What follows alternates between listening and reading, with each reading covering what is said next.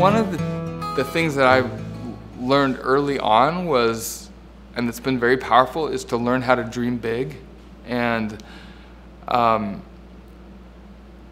you know, I, I, I've, I've learned a lot of practices and ways to manifest what I desire. And this is actually a life study for me, and, I, and I, I'm constantly learning and growing, but I practice certain activities every day that have become so habitual where I have like just amazing things happen, like people, circumstances, and events that take me to my dreams and goals happen to me regularly, often. And I'm a student of this, I, and I, I've gotten really good at it. And I was like, you know, I know a lot of people that really, really kind of struggle, and I've been there too. Like I, I have struggled before in my life, like how do I make my desires reality? And I think it's a process of learning the laws that govern those things.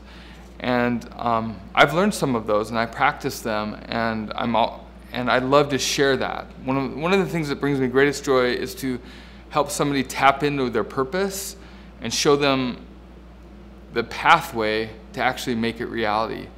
Um, I mean, everything around us, everything in this room that you look around your room was once an idea in somebody's mind and now it's in physical form. Well, how does that happen? That's the power of creation. Learning how to consciously, consciously meaning you are directing it. You're, you're actually directing the creation process. So um, that's where it came about, and, and that's, it's about techniques and tools and methodologies to actually, that are proven to work scientifically proven that these things work to create reality. And so that's, that's what that's about.